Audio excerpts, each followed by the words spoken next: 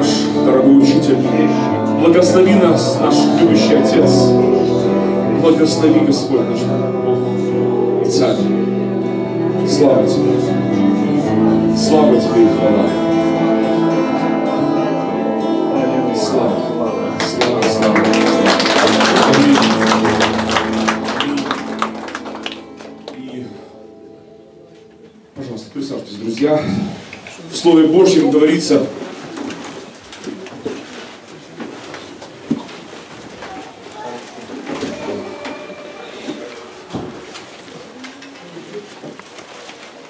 послание к Коринфянам.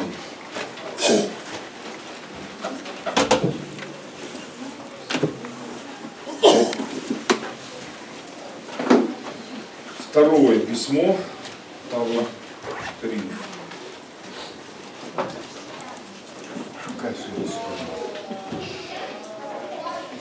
Пятая глава. Да. 19 стих. Пятая глава, 19 стих, 2 Коринфянам. Послание Павла. Написано, что Бог во Христе, Бог во Христе примирил с собою мир, не вменяя людям преступлений их, и дал нам слово примирения. Аминь. Бог примирил с собой весь мир во Христе Иисусе. И слово примирение уже звучит два тысячелетия, друзья. Это Евангелие, вот это есть благовещение. Настоящее, правдышное благовещение, благая весть всему миру и страдавшемуся, что Бог во Христе примирил с собой весь мир. Не только отдельных людей, а весь мир. Слава Богу, друзья. Так вот, и приветствую всех именем Господним. Вот, и приветствую, кто подключился там э, на Ютубе онлайн. Вот, надеюсь, мои уже смотрят, уже подключились. Э, днем подключались на первом собрании. Сейчас уже здесь должны подключиться. Вот, и э, слава Богу. Так что привет вам и от моего семейства, вот, от супруги, э, детей наших, внуков наших. Вот, и а, с церкви большой привет а, с Киева, потому что а, я был эти дни в Киеве, во Львове, потом в Киеве. И вот а, во Львове у нас еще нет церкви, но а, молимся сейчас о церкви, о начале а, церкви во Львове. Слава Богу. Вот, и, а, а в Киеве, да, проходят служения. В следующее воскресенье уже буду у себя а, в церкви, вот, и всю неделю буду там проводить встречи разные, семинары тоже, слава Богу. Так что большой привет всем вам от э, Украинской реформаторской православной церкви, от наших батюшек, матушек. Слава Богу, да. Вот, и э, эту неделю послужил здесь, в Кривом Роге. Вот, э, такая насыщенная такая довольно программа получилась, да. Э, очень разные собрания, очень разные. И в разных концах города. Э, в центрах реабилитации послужил тоже, вот, и Севгок, и, значит, там, э, Латовка, да, в разных местах, да. Так что уже так немного знаю, так уже чуть. Узнаю все больше э, Кривой Рог. Он такой, да, кривой такой. Очень большой такой. Да, слава Богу, шафар такой. Вот, и э, э, слава Богу за вот это ваше собрание. С пастором посмотрели то помещение, вот, знаем теперь о чем молиться. Об устройстве тоже, чтобы вы были уже э, в том большем намного зале. Слава Богу, чтобы да, Господь да усмотрит все, все, и финансы, и, и материалы, чтобы э, там было помещение такое приспособлено, достойно для собраний. Вот, слава Богу, тем более здесь уже и вам тесно уже. А тем более церковь будет расти, у вас там планы Аминь. такие, ну, не, наполеоновские, да? Ну, Господь, он э, больше, чем Наполеон. Знаете ли, да. Вот. Даже сам Наполеон Бонапарт, э, он там читал его там изречение о Христе Иисусе, он там восхищался э, Христом Иисусом, говорит, что надо же, говорит, я с такими армиями там на штыках там, э, значит, а он без штыков без армий, значит, и весь мир покорил, завоевал. Вот. И потом Бонапарт написал интересно, что говорит, «Э, на штыках можно много что сделать, но нельзя на них усидеть. Вот. А царство Христа, оно э, вечно. Потому что основано не на штыках, основано не на э, зле, а основано на любви, основано на нем самом. Он сам сказал, потрясающе, а, что он есть путь истинной жизни. И апостол Павел только в первом письме в Коринф, он писал э, Коринфянам, что никто не может положить другого основания, э, кроме положенного, которое есть Иисус Христос. То есть это основание любви, основание жертвы, жертвенной любви. Слава Богу. Так что, дамы и господа, братья и сестры, действительно это величайшее основание и фундамент верный и сама стройка, э, весь этот храм святой в Господе, это и тело Иисуса Христа. Церковь Божья – это храм Божий, э, это тело Иисуса Христа.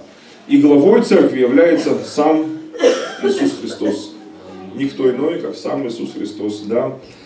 Он есть и фундамент, получается, этого храма огромного, и купол завершения этого храма, тоже сам Иисус Христос. Так вот, друзья. Вот, и э, как церковь повинуется, написано Христу. Павел пишет интересно, что э, церковь, если э, это правда, что церковь, да, истинная, то она э, чем отличается? Она повинуется Христу. Э, да, не наоборот. Вот, и э, Иисус, Он глава церкви. И э, я благодарю Бога Всемогущего, что э, верующие, да, вот, э, христиане, независимо от того, какой церкви, там, какой конфессии, э, что отличает, да, а, повинуются Христу, повинуются Господу и а, действительно осознают главенство Иисуса Христа, Его верховенство, Его э, величество. Он Господь, Он Царь. Вот. И благодарю Бога за это. Эти дни я проводил семинар здесь, в Кривом Роге. Вот. Кто был, кто не был. Вообще, кто был? А, онлайн, да? А, слава Богу. Да, слава Богу за интернет, слава Богу, что э, и мои тоже смотрели там, и из церкви, из Киева тоже пос, э, посматривали, так не все, так, но фрагментально. Вот, и, э, конечно, ну, я уже приеду уже в Киев, я уже там уже э, дам такой полноценный семинар, большой уже такой, предпасхальный. Вот, но, э, э, знаете, друзья, э, конечно, самое основное, что хочу донести, вот, и хотел, и хочу донести, э, я заглавил местом Писания – Э, весь семинар и вообще всю эту неделю здесь, э, в Кривом Роге. Э, а место Писания это из Евангелия от Иоанна, 8.32.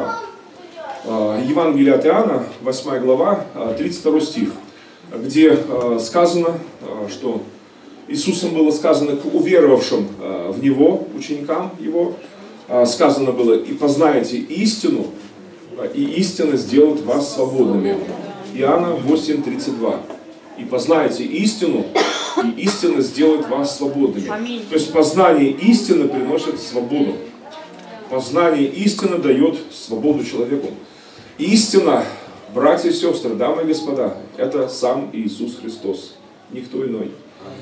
Да, мы знаем теперь уже, постепенно раскрывалось это в Новом Завете, но мы знаем, что истина в Иисусе. Мы знаем, что сам Иисус есть эта истина. А, Павел, а, ой, извиняюсь, Пилат, помните, да вопрошал, что есть истина? Вот, чтобы правильный ответ получить, надо правильный вопрос поставить, правильно его сформулировать. Он неправильно сформулировал вопрос. Надо было сказать, кто есть истина? Или назови истину мне. А истина это сам Иисус. Истина это сам, сам Бог в этом мире сущий. Он есть истина. братья, сестры, э, благодарен Богу за эту Божью истину. Я э, скажу, что панацея такая для Церкви Божьей, это опять-таки истина в Иисусе, сам Иисус.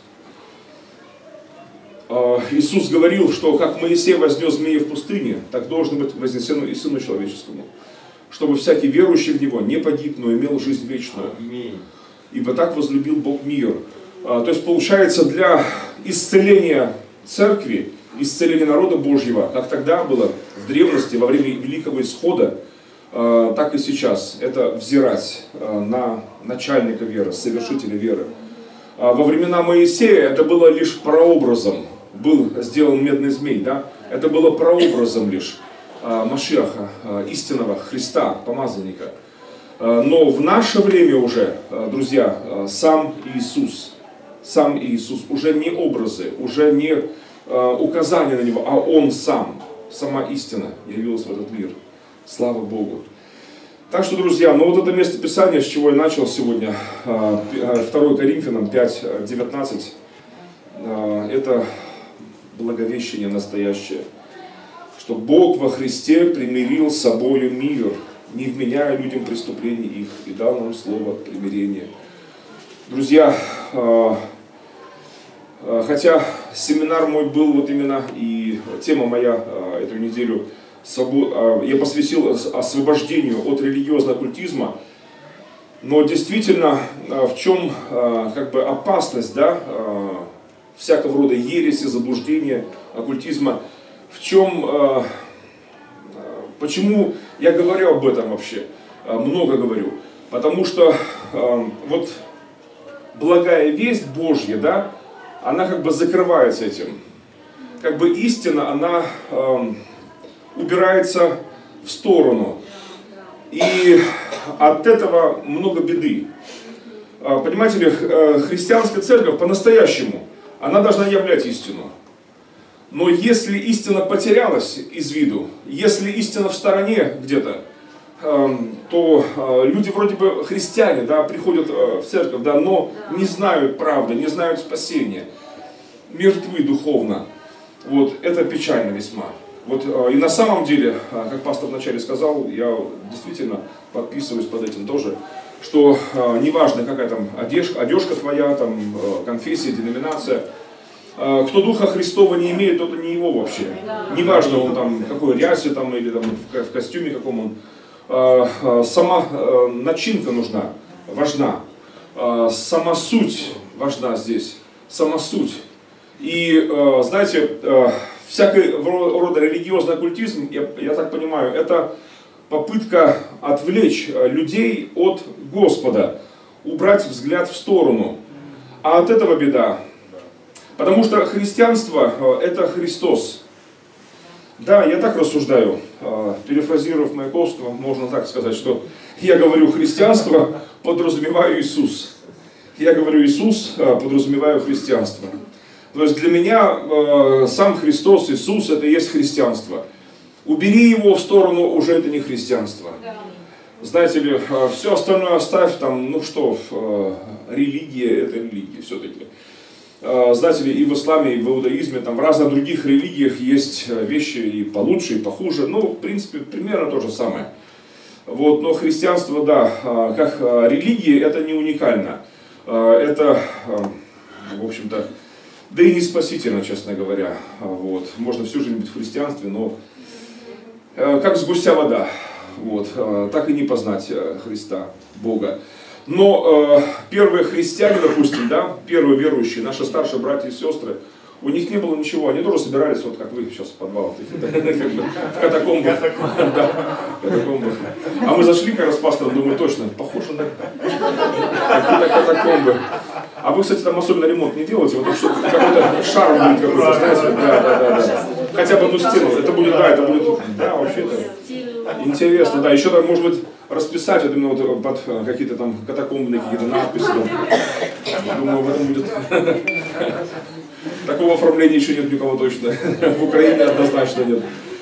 Да, так что, ну, друзья, А, конечно, самое главное, чтобы мы были не просто там внешне как-то подражали первым христианам, а сама суть, чтобы была у нас действительно та же. Христова, Христова, христоцентричность. Александр Мень, а, покойный уже, да, вот, значит, а, реформатор такой был, в СССР еще последние годы, особенно, да, вот, потрудился он хорошо в конце 80-х. И знаете, друзья, вот действительно, он как раз очень метко говорил, что исцелением, такой, таким, такой панацеей для церкви является христоцентричность. Когда Христос, Он становится центром нашего внимания. Как в числах было, да, что люди, укушенные этими змеями, они погибали. У них выход был один только, у всех этих укушенных. Только взирать на это изображение огромного бедного змея. Вот, но там э, в оригинале, скорее всего, там идет речь даже не, обыч, не об обычном змее, а пернатом, будем так говорить. То есть о херувимов, э, серафимах, серафы, серафы.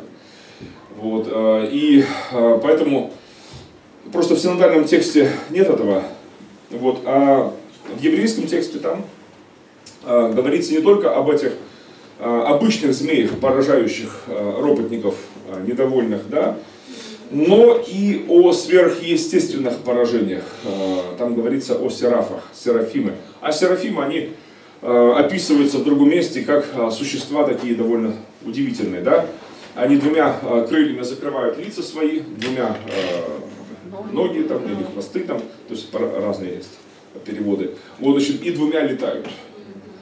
Вот, то есть издалека э, это напоминает э, крест, действительно. Поэтому, если э, все-таки э, ближе к оригиналу э, говорить, то, скорее всего, идет речь э, не об э, обычном э, змеи, а, как себе обычно представляю себе, или же а, рисуем в детских библиях или иконах, картинах. Скорее всего идет речь там о серафах. Вот. А, хотя точно не указано, что же сделал Моисей. Значит, но в качестве поражения именно серафы были обозначены, потому что от обычных змей можно было еще отбиваться им до поры. Представьте, если наползли там эти гадюки какие-нибудь, не знаю, там, не знаю, что там, кобры какие-нибудь там еще, от них можно было еще отбиваться. Но попробуй отбейся от э, сверхъестественного поразителя. Попробуй отбейся э, от ангела. Как говорится, против лома да, нет приема. Э, действительно, это невозможно. Это сверхъестественный поразитель. Вот, и э, при том, изображения гадов были запрещены э, э, чуть выше там, э, в исходе описывается, да, в 20 главе. Вот, а насчет ангелов нет такого запрета. Даже наоборот, даже в других местах там есть указание, что э, э, херувимов этих ангелов, этих чеканной работы э, делали. Ну не для поклонения, э, не для почитания, а для оформления там, значит, и как бы про, э, пророческих таких преобразований. Как бы.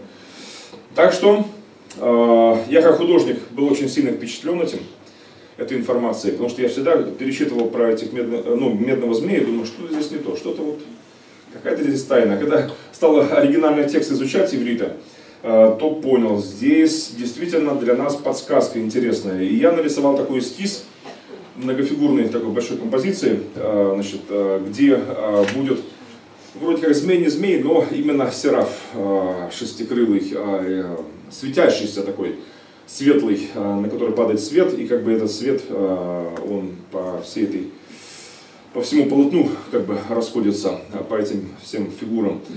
Вот, и люди смотрят и исцеляются.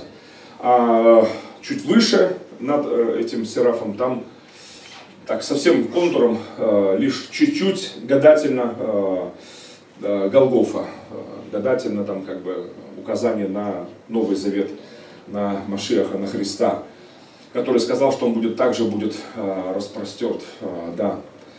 Слава Богу. Вот, ну, это пока эскиз, это пока еще эскиз, это еще не работа. Вот, но мне как художнику это было очень даже интересно было. Вот. Э, и, но самое главное, самое главное, сегодня мы взираем на Христа. И это не э, просто сделать портрет его и смотреть, любоваться, или же там, или носить крест, допустим, и, смотреть, как вот многие полагали, и я считал, что крест он спасает, знаете ли, защищает, благословляет, или крестное знамение на себя там раз наложил, там все, все значит, вроде как уже вот, вот это спасительное что-то такое приходит в твою жизнь. На самом деле в Библии говорится, тот, кто вас, больше того, кто в мире. И говорится, что Христос вас, упование славы. Э, и говорится о том, что э, Бог, Он поселяется в человеке и пишет э, свое слово теперь на сердцах человеческих. Заповеди на сердцах человеческих. Интересно, и как же нам быть-то? Как я могу нутро свое осмотреть-то? Как я могу я взирать на Христа теперь? Размышляя, знаете ли, мы взираем глазами ума нашего, глазами души нашей, сердца нашего. То есть, когда я размышляю о нем, о, Христе, призывая Его имя, всякий, кто призовет имя Господне, спасется. И это факт, это на самом деле правда, друзья. Поэтому Иисус, Иисус, Иисус, размышляй о Нем, а, призывай Его имя святое. Вот это есть действительно а, ну, панацея. Какой бы яд греховный не действовал в тебе или вокруг тебя, призывай имя Христа, призывай имя Иисуса. Иисус, Иисус, Иисус. И это, знаете, это, э, э, скажу так, универсально. Это от всего. Это действительно это спасительно для человека. Спасительно для каждого из нас. Вот. А враг пытается сбить прицелы, чтобы как было там, вот, ну, свадьба в Малиновке, Папандо была, да помните? Бац-бац, говорит? И мимо. И мимо. Потому что прицелы сбиты. Вроде, вроде как бы что-то есть, а нет попадания. А, слово грех, да, а, в оригинале а, еврейском еще можно перевести как попадание мимо цели. То есть вот когда вот бац-бац и мимо, это вот это грех. Это грех. Вот, и знаете, действительно, мимо цели, потому что враг хочет, чтобы ну, задурить голову человеку. И Потому что, э, когда мы взираем на Христа, э, то мы неуязвимы для зла вообще. Э, для противника, который ходит, как рыкающий лев, ища кого поглотить. Но он ничего не может, когда мы взираем на Христа. Когда мы призываем имя Господне, когда мы во Христе, и Христос в нас. Но если в сторону куда-то отводим свой взгляд, то тогда мы становимся уязвимыми. Так что, друзья, взираем на начальника веры, совершителя веры, Иисуса Христа. Слава Богу. Аминь. Аминь. Вот. Ну, а по поводу религиозного оккультизма этого, я, да, я рассказывал на семинаре, и сегодня кое-что еще расскажу, еще примеры какие-то, да, расскажу, поделюсь. Может, на вопросы ваши какие-то, не знаю, ответить тоже.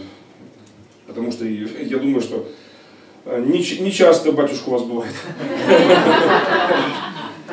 Вот.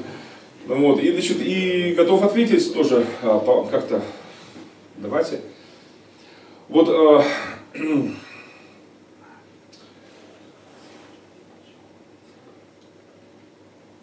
Вот э, как думаете, вот что, э,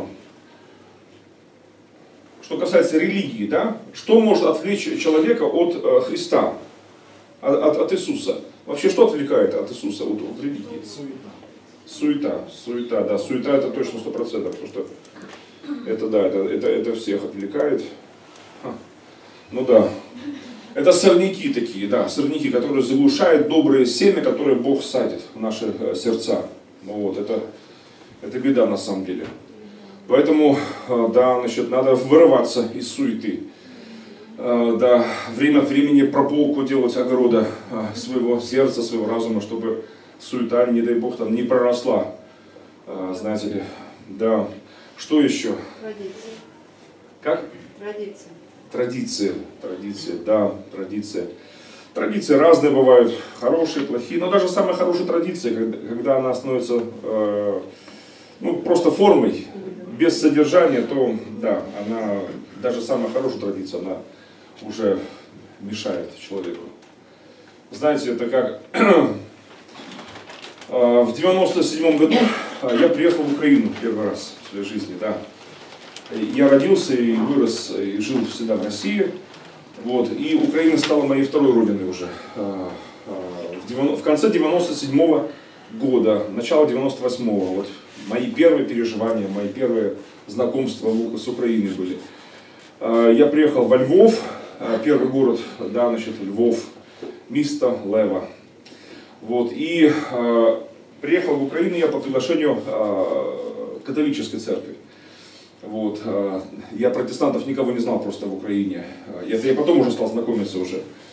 Вот, а поначалу знал только католиков, но опять-таки, как знал? Даже не, самих, не с Украины, а со Словакии.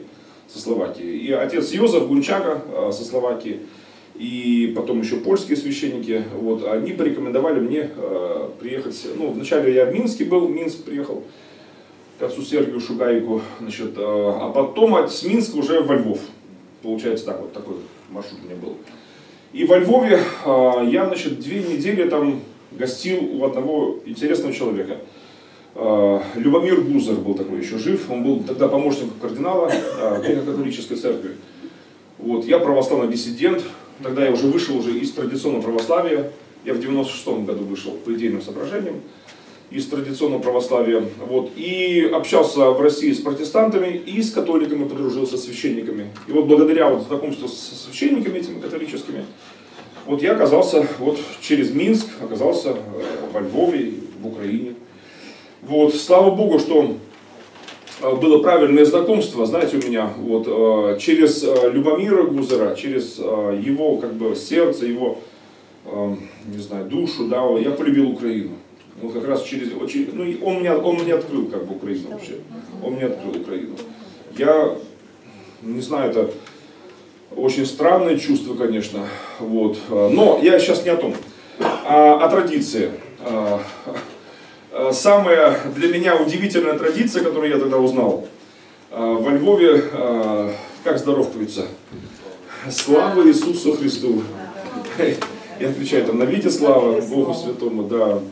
Я ж вообще не знал, я вот, и, значит, и иду себе по улице, батюшка там, да, по незнакомой улице, да, вот, и и кругом это вот слава Иисусу Христу, слава Иисусу Христу. Думаю, да что вообще так интересно.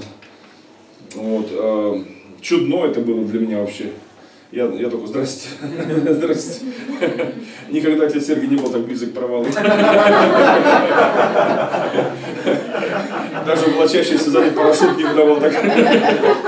Как здрасте. Одним словом, я, ну, я здоровался просто. Но мне понравилась сама идея, думаю, здорово. Вообще, думаю, ну что бы я так жил вообще. Э, утром э, в городе, там, за место матюков, за место чего-то еще, люди между собой еще так, слава Иисусу Христу, думаю, да вообще здорово. Вот. Одна бабушка э, меня отозвала, батюшка, можно вас? Пожалуйста, что случилось? Я вижу, вы не местные, я говорю, ну да, первый раз вот. Вот, она мне проинструктировала, что не надо, здрасте, надо отвечать надо. Слава навеки Богу Святому, поняли? Ну, о, спасибо. Мне, мне, мне ответ еще больше понравился даже, думаю, здорово, прекрасно. Я уже сам уже даже на опережение стал так здороваться и отвечать.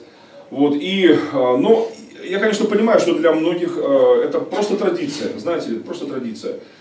Ну, вот там идут там с сигаретами, с пивом, слава Иисусу Христу, как бы, батюшка, все. Вот, ну, э, понятно, что э, э, ну, традиции разные, вот это хорошая традиция, хорошая. Но если ее лишить содержания, если не знать самого Иисуса Христа, э, то ну, э, получается форма, внешняя форма только.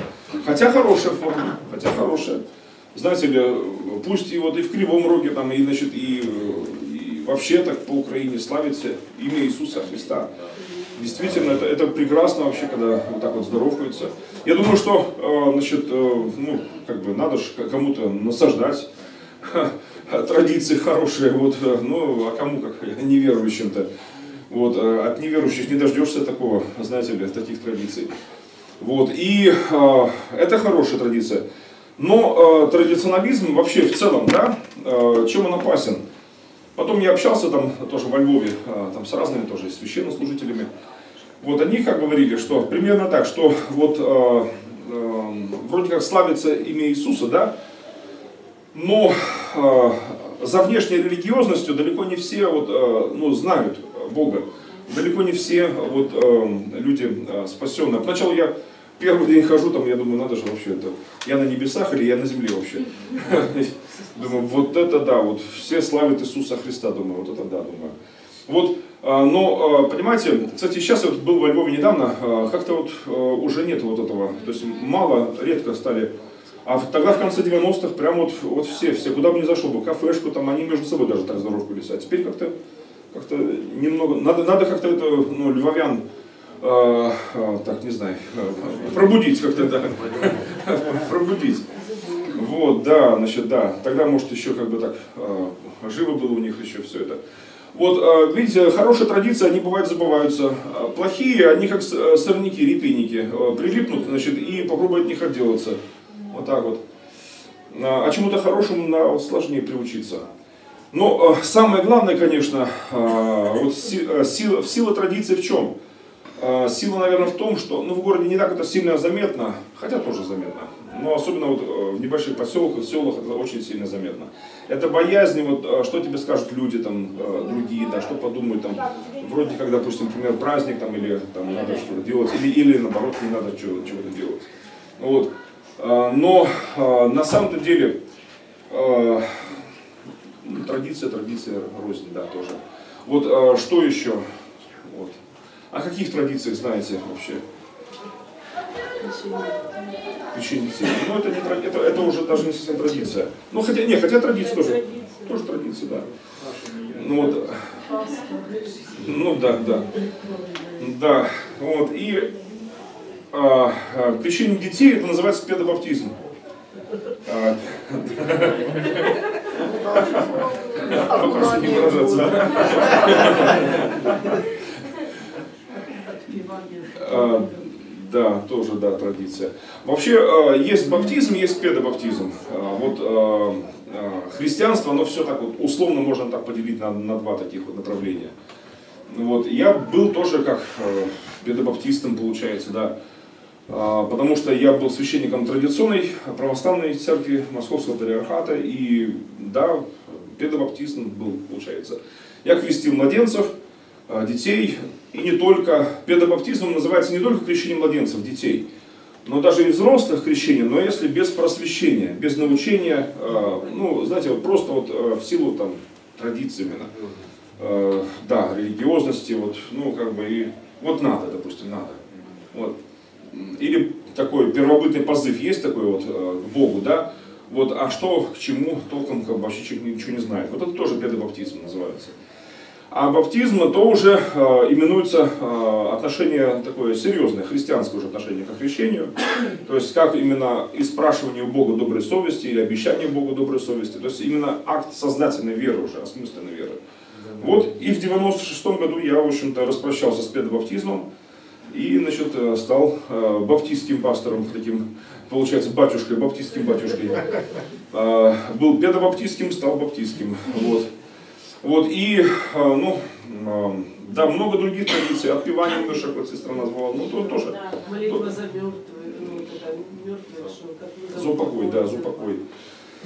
Тоже это и традиция, и не традиция, и, потому что это еще и учение церковное тоже, знаете ли, но есть традиции, конечно, есть, есть народное православие, которое гораздо более такое, даже такое колоритное, чем церковное. Вот, э, там батюшки, особенно на приходах в селах, э, там за голову хватаются порой. Знаете, у меня там, к примеру, были разные села в Рязанской области, где я был священником э, там, в 91 году, значит, последние месяцы Советского Союза, я служил на приходе сельским батюшкой. И так получилось, что там было сразу несколько сел, разных очень сел. Вот. Молодой священник, я служу, как я знал, так я и служил.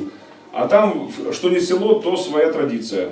Притом так получилось, там три больших села, э, вот основных было моих, значит, э, они прямо вот недалеко друг от друга. И во всех трех селах три разных обряда, три разных традиции. И касательно э, похорон, и касательно там панихид, и всего-всего-всего. Одно село было, ну так условно его так, так и называли, как помещичье, когда-то помещик там был, даже было место, показывали, где там усадьба стояла когда-то а, при царе еще батюшке. А, одно было государственное село, а третье было монастырское село. Вот, и они все рядом, эти села, и у них разные совсем а, воззрения. Ну, там, ну, начиная с мелочей даже, там крест ставить в ногах или в голове, допустим. Вот, я уже вначале думаю, ну, у них свои там забубоны какие-то. Вот, батюшка идет впереди или сзади, там, значит, там, или там, ну, одним словом, поешь так или, или сяк. Ну, везде свои традиции какие-то. Вот, значит, и а, в одном селе там на перекрестиях нужно, на каждом перекрестии нужно становиться, иначе там народ обидится вообще. Вот, значит, а, на, а на другом, а в другом селе, а, Богородицком, где был, там вообще-то не знают. Не, не, батюшка, как, какие остановки? Идем прямо на кладбище, все туда, прям там уже. Вот, а, в Озерках, там э, село, в Озерках, там, там вообще там целая церемония вообще, там а, перед входом в кладбище, там, значит, там, значит, двери запираются, значит, потом перед тобой открываются, там, значит, там кланяются люди, значит, там, э, родственничков приветствуют, значит, потом нужно заходить, ну, короче, там три притопа, три прихлопа, значит, все там как бы, все, все шаги уже прописаны, вот, значит, и я уже как бы э, в другом селе там, э, ну, самое чудное монастырское было село, а, там вообще, там такое, что э, Николай Васильевич Гоголь бы там бы... Да, да, там диканька-то отдыхает, конечно. Там такое было вообще там, да, там, значит, там э, поминальные, там всегда, ну, понятно, отдельный прибор для умершего ставят, но там настолько все серьезно, что там и тебе, значит, на скатерть там наливают эту водку, значит, там, и родственничков приглашают отобедать, значит, там всех, значит, там, думаю, вау, фильм ужаса только наяву. Вот, значит, э, и, э, знаете, вот э, много всяких традиций разных. Ну вот. Кстати, да, я молился за упокой много. Вот. Я любил это дело, мне оно нравилось как-то, не знаю. Вот. Дело в том, что у меня тоже полно за кого было молиться, умерших-то. Вот. И я из семьи потомственных, там, неверующих, атеистов. Вот. И мне было за кого, я так полагал, молиться. Вот, поэтому я относился к этому с энтузиазмом, а, будем так говорить, а, да, с инициативой. Но а, в 96-м разочаровался в, этом, в этой практике, вот, и в народном православии, касательно умерших, вот, и в церковном, религиозном православии, потому что истина, когда в Слово Божье приходит в жизнь, то истина освобождает. И знаете, что у меня созрело такое четкое понимание тогда, в 96-м, что э, я призван, как э, христианин, молиться за живых людей.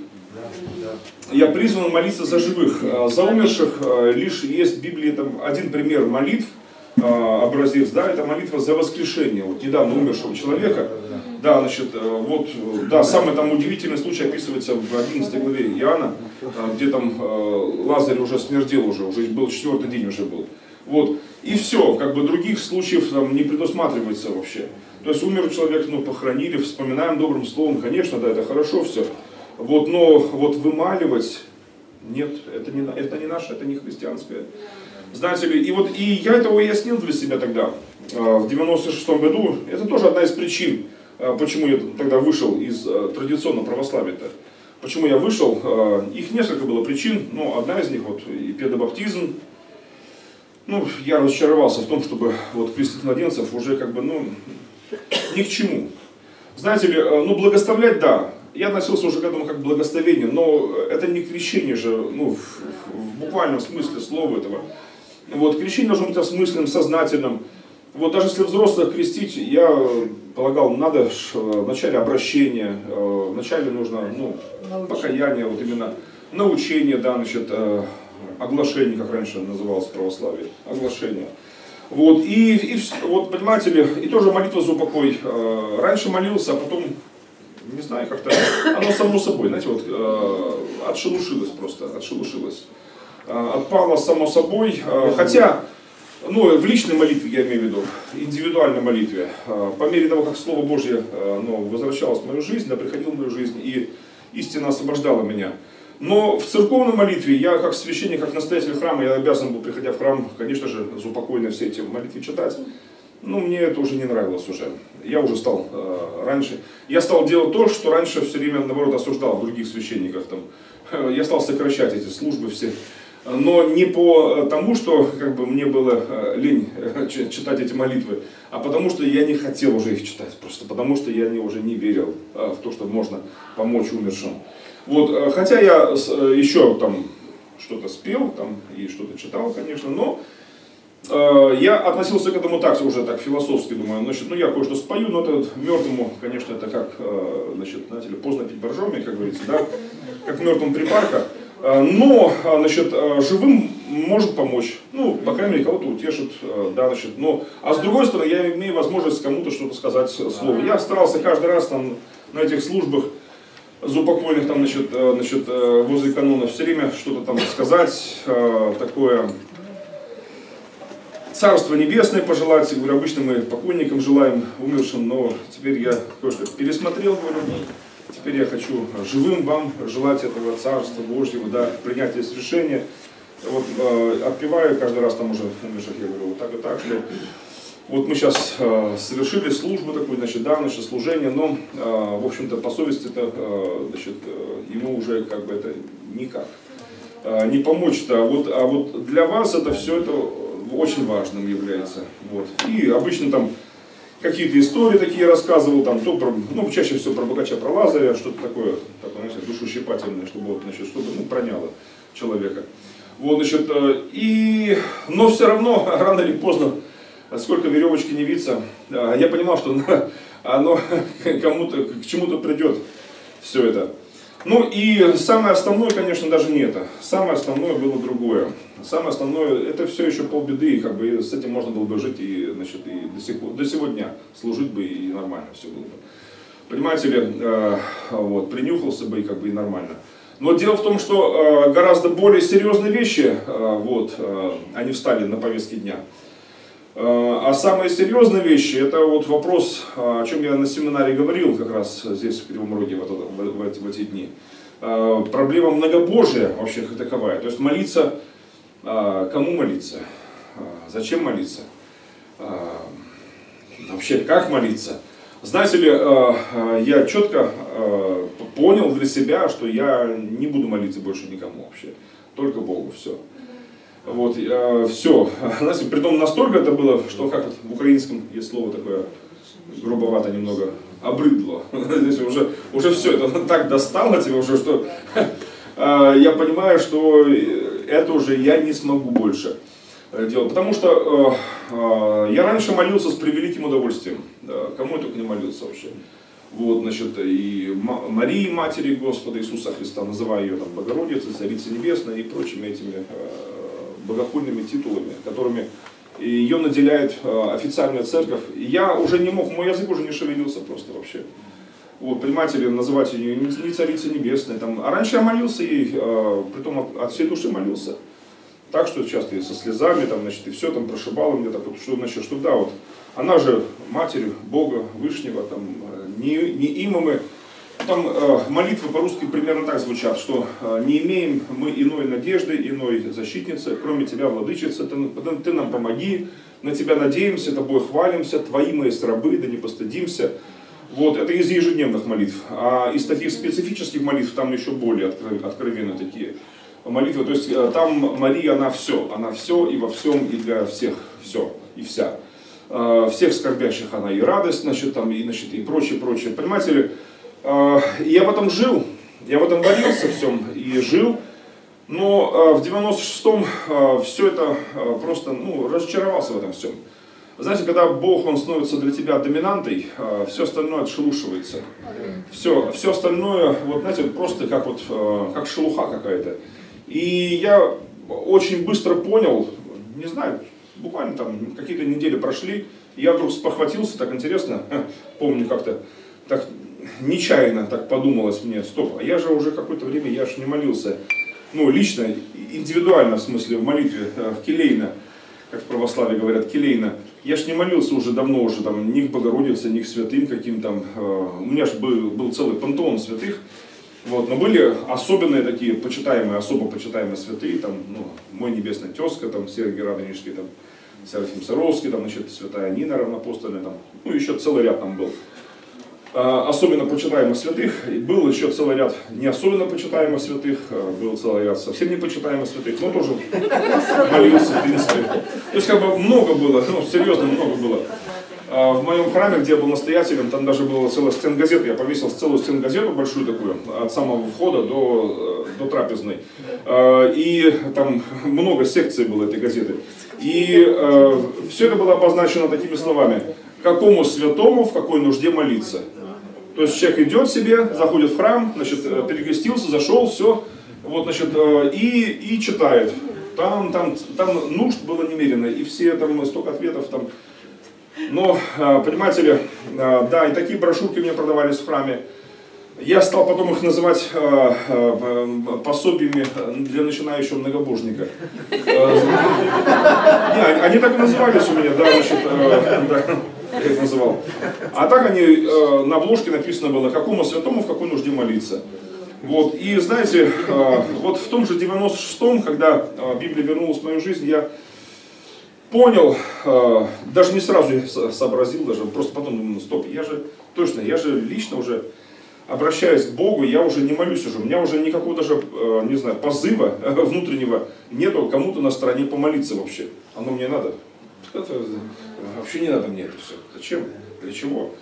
Вот, знаете, и, но приходя в храм, э, где был настоятелем, я все равно обязан был, конечно, я стенгазету тому, тут стенгазету позорную снял, вот, значит, э, и, значит, как бы думаю, как страшный сон какой-то убрать ее просто подальше.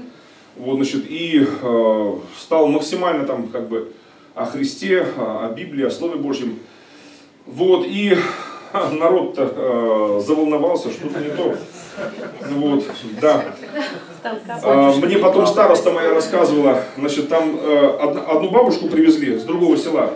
Она была слепая, но Ух, востро. Слух такой, что... Вот, значит, и она все слышала, все сканировала. И вот, значит, и такое, вот было такое резюме бабушкам там, на их женсовете там. Значит, она, значит, сказала так, что, а батюшка ваш, штунда, как штунда? Он же батюшка, он в рясе. Ты, ты же не видишь, что он в рясе с крестом. Я не вижу, но все слышу. И она сказала, я еще была девчонка совсем еще, меня там штунды заманили, короче, там на, на какое-то собрание, там, вот он, он то же самое говорит. Вот что они говорили тогда, еще в те 20-е годы далекие, вот он то же самое говорит. Так что ваш батюшка штунда. А мне староста передала, говорит, вот так и так. Представляете, ваш уже штунды уже называют, уже все. Вот, значит, и, ну, думаю, ну что делать вот. Ой, ладно. А, кстати, ну я тогда уже, э, ну они знали, что я уже с, с кем там снюхался-то. Вот. Да, я ж там уже, уже познакомился к тому времени там э, с э, церквями уже, с писятниками. Баптисты, писятники, в основном мои товарищи были уже там. Вот, значит, адвентисты и харизматы. О, вот, вот, четырех разных там даже, вот, таких очень разных э, верующих. Значит, а первый, с кем познакомился, вообще это был пятидесятник. Э, он э, очень, очень интересный брат, он сейчас пресвитером является в городе Сураж, Брянской области. Григорий Тельных, очень хороший брат, я очень люблю его. Вот, и э, интересный очень человек. И вот я с ним, он первый протестантский, я познакомился так вот, и пообщался, побеседовал по душам. Вот. И, э, но я не знал, что он протестант, конечно. Если бы я знал, я бы не общался бы с ним тогда. Не, ну серьезно. Я... Потому что поначалу я же, я же жил в своей вере какой знаете, вот я верил, что православие только лишь у нас, только в православии только является вот, э, ну, благодать, как бы, да, вот Божья, только лишь у нас спасение. То есть я э, жил жизнью такого вот православного сектанта. Вот я реально жил как сектант. Я считал, что только лишь Дух Святой только лишь у нас дышит вообще. Вот э, я, по сути, отказывал ему в праве быть личностью. Э, знаете, знаете, как будто бы это вот джин, попавший в лампу вот, э, моей конфессии, вот, и которые зависят э, от наших обрядов, как вот от потирания этой лампы там, и заклинаний каких-то. То есть он, э, понимаете ли, невольник. На самом деле э, никогда э, Дух Святой не будет э, в подобном таком глупом положении, Э, совершенно не свойственное ему положение. Э, он личность, величайшая личность во Вселенной, и он не позволит э, быть, знаете ли, на побегушках. Даже у той золотой рыбки то ума хватило, знаете ли, хвостиком вильнуть там и уплыть в Синем море. Вот, значит, да, когда дошла, дошла уже, зашла речь уже о том, чтобы она была там на посылках уже, знаете ли. Вот, э, а тем более, если нам говорить о Господе, то он никогда не будет на посылках, э, он никогда не будет э, таким. Он глава церкви, и он не, знаете, вот тоже касательно вот семинара, свободы этой от религиозного культизма, то действительно Иисус, он не будет никогда подкаблучником церкви, он не будет под церковью. Это, знаете, как вот э, говорят, да, вот муж говорит, я глава, глава, э, да, а жена говорит, а я шея, шея. куда хочу, туда головой верчу. Вот. Иисус такой не будет, нет. Вот, значит, и он либо глава, либо никто вообще, либо Господь, либо никто, вот, и вот, вот он такой. Интересно, его царство, королевство, да, он не свадебный генерал э, на Перу нашем, э, не просто ради почета э, посаженный где-то там в президиуме, знаете ли, вот, ради имени. Нет, нет, он не ради имени там сидит. Вот. И он главой церкви является не, не, не ради того, чтобы там показаться, похвастаться. Нет, нет. Он действительно глава. Глава церкви Христос. Вот. И церковь должна ну, дружить с головой. Вот, да, действительно, слушаться, слушаться, слушаться. Вот так, дамы и господа, да. Вот. А, а с тем Григорием я когда познакомился, ну, он сам себя так немного сдал, так чуть, он процитировал что-то там из Писаний. А, а, ну, я сразу понял, что не наш. Ведь наши люди Библию не читают. Думают, что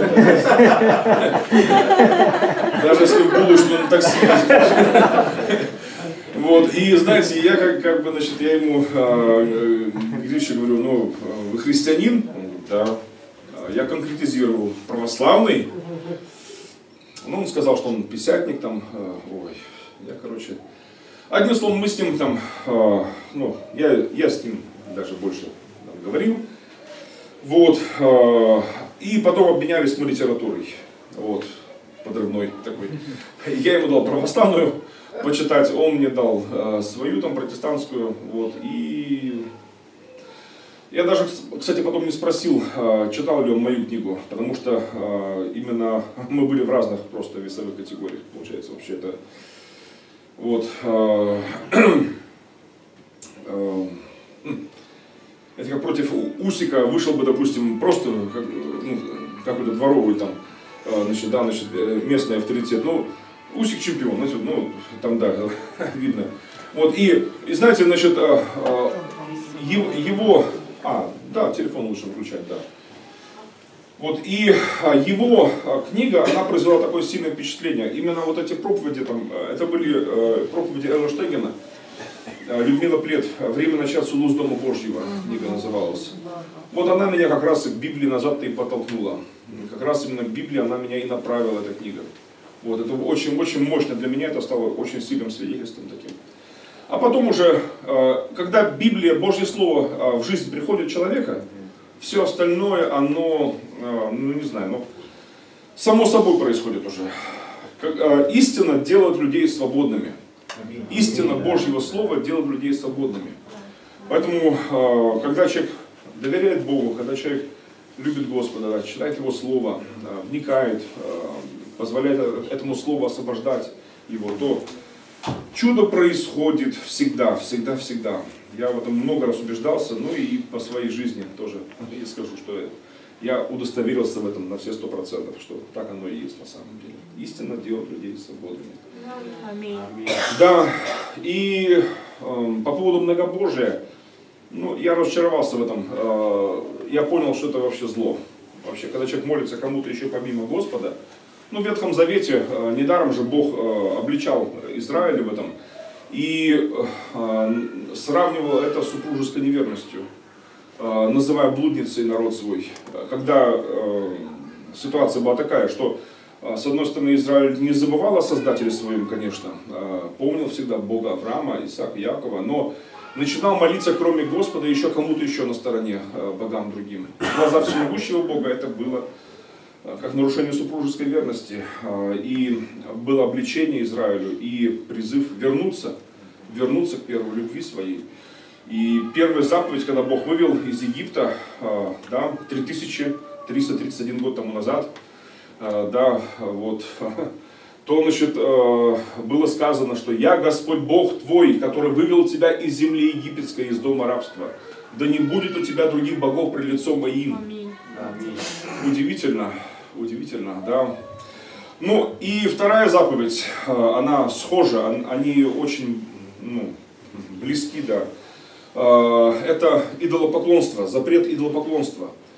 Э, Знаете, э, даже в отношении креста, допустим, да, значит, там, или чего-то еще другого, Я носил кресты именно как идолопоклонник, по сути. Сейчас это знаки моего служения, не больше. Вот, но тогда было иначе. Я